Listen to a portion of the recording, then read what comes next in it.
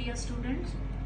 Today we will start exercise 4.4 of chapter uh, this linear equation in two variable. This is very small exercise as well as this exercise is not that much that much tough. What is given to us? We are given with y is equal to 3 and we have to represent this in one variable as well as in two variable. This is the geometrical representation in one variable. This is geometrical representation in two variable. How can we write y is equal to 3?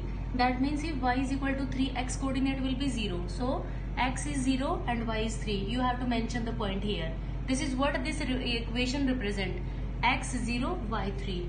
If we have to represent the same in linear in two variables, y is equal to 3. If y is equal to 3, can we take x is equal to 0? There will not be any change on the equation.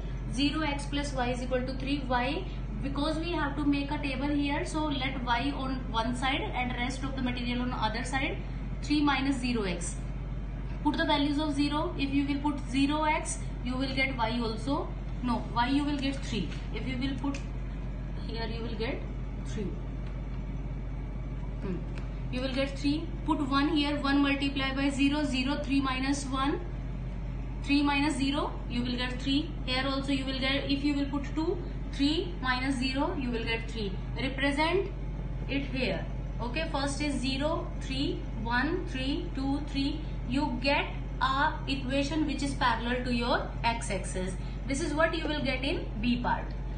Come to second part 2x plus 9 is equal to 0 x is equal to minus 9 by 2 or minus 4.5 represent here x y is equal to 0 here y is equal to 0 and x is equal to minus 4.5 so here is your x is equal to minus 4.5 simply one point will be there in one variable.